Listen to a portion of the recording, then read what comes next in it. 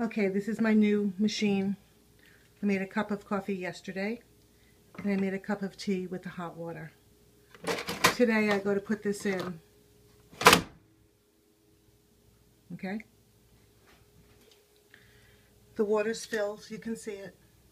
Filled up to the top. I press coffee, strong, and I want 14 ounces, and I press brew.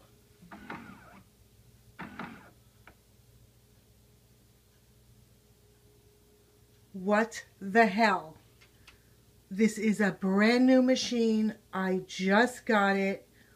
Why is this happening to all of them? I have a normal electric socket. There's nothing that I'm doing.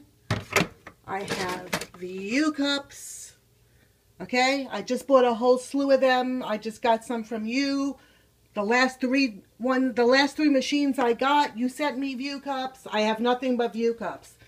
What is going on?